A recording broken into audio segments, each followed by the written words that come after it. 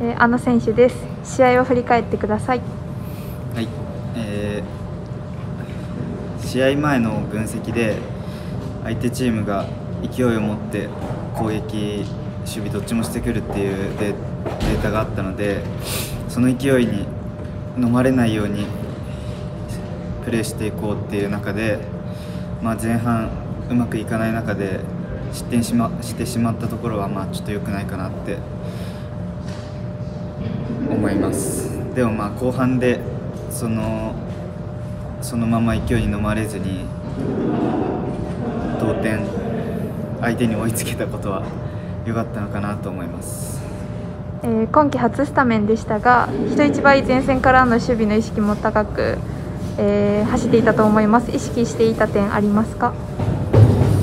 えー、まあ、人一倍走ろうとかは考えてなかったんですけど、まあ、チームが勝つために何をすればいいかなって考えた時に、まあ、ボールを持った時はもちろんですけどその守備の面でも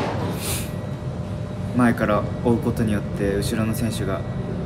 そのターゲットを絞りやすくなるとかあるので、まあ、そこは意識してやってました、えー、次節アウェー琉球戦です。アウェーが続きますが、えー、サポーターの皆様へ一言お願いします。はい、